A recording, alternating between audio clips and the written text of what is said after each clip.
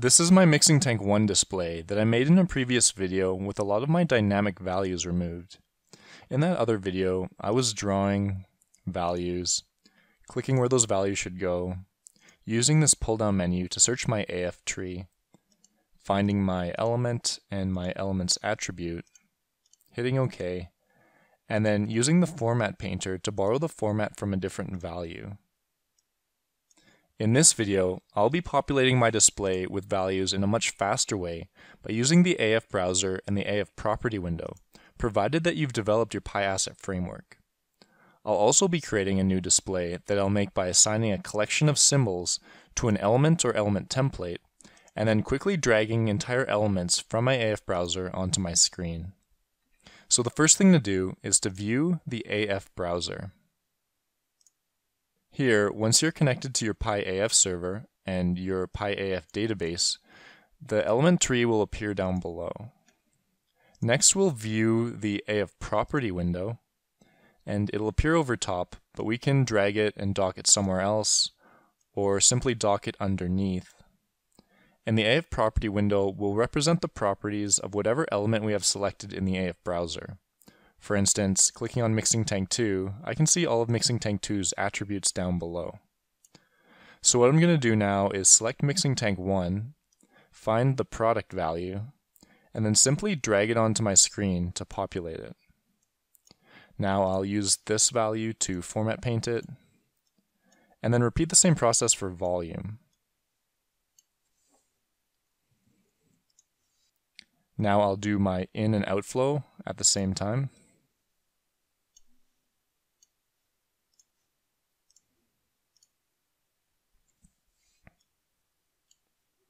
And I can even do trends using this method. So here's my internal temperature and pressure trend. So what I'll do is find my internal temperature, drag it onto the trend, and then I'll find pressure, and then just stack it on top. And this trend will accommodate both those values. So this is a great way to get attributes on the screen for a single mixing tank display, because I can just throw our attributes onto the screen quickly.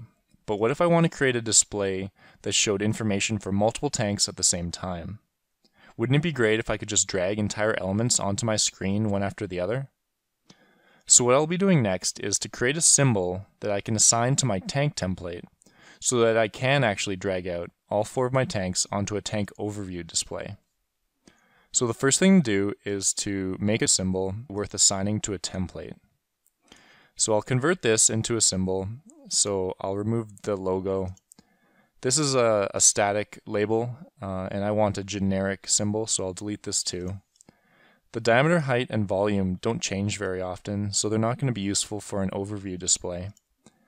And now I'll take the rest of these symbols and make them a little bit more compact. And I'll remove my legend and title from my plot. And then make use of all my white space.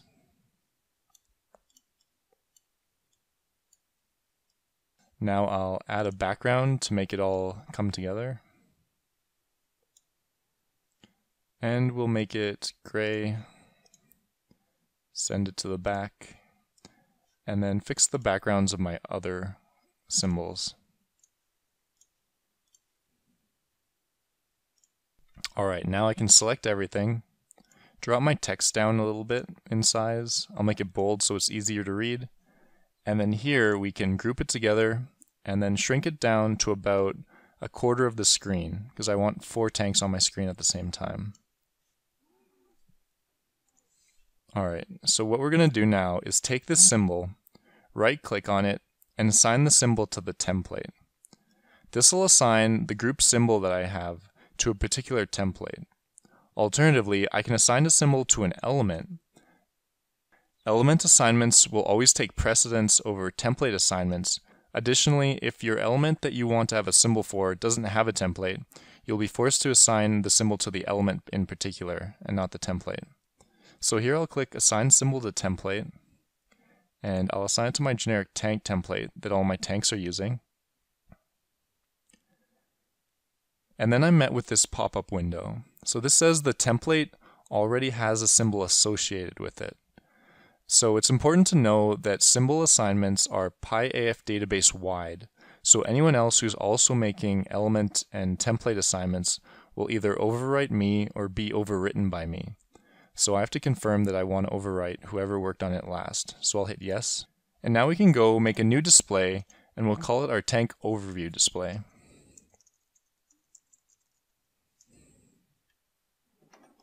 So we'll view our AF browser again and we'll view the AF property window again.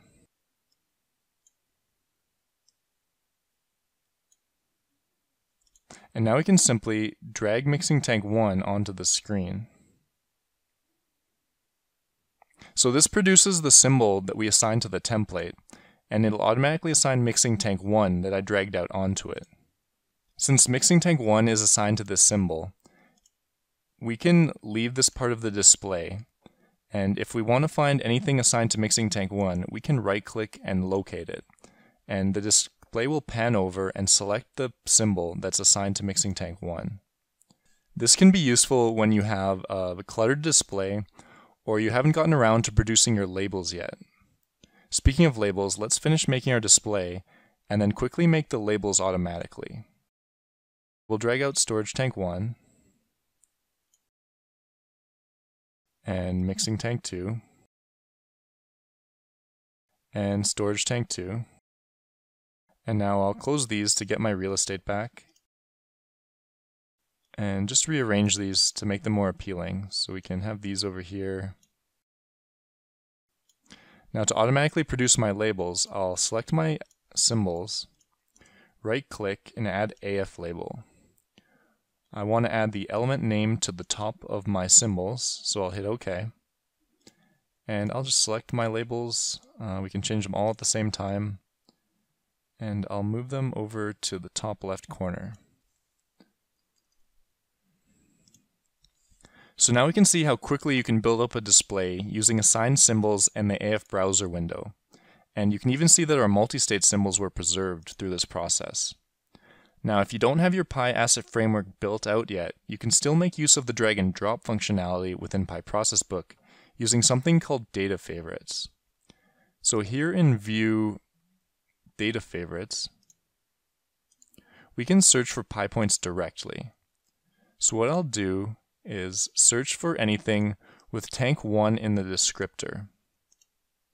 This will produce my 10 PI points associated with tank 1. So I'll hit OK, and they'll appear in the search results window. The search results window is going to be cleared out every time I close PI ProcessBook. So to make them persist, I'll have to drag them down into my favorites window. So I'll include my flow rate, my pressure, and the other flow rate, and my internal temperature.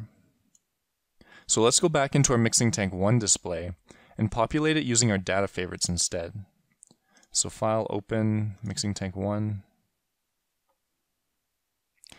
And now I'll just drag these values out onto the screen, but first I'll make sure that I have the appropriate symbol selected here. So I can choose between bar graphs, trends, values, and XY plots. So my inflow and my outflow are going to be values, so I'll select value. And then we'll drop flow rate here, and the other flow rate here. Uh, of course, we'll format paint them so we don't have to go through all that again. And now we'll drag our pressure and internal temperature onto our trend, just like before. but you'll notice that we don't have any PI points for height, product, and volume. This is because these element attributes are defined only in our PI AF database. This, combined with the often unfriendly nature of the PI Point naming conventions, really highlights the value you get out of a well-constructed AF database. So far in this video, we made two displays by dragging assets and elements out from the AF browser and AF property windows onto our display. So now we can see how quickly displays can be built up using our asset framework within the PI ProcessBook, or by using the data favorites window if you haven't yet developed your PI asset database out yet.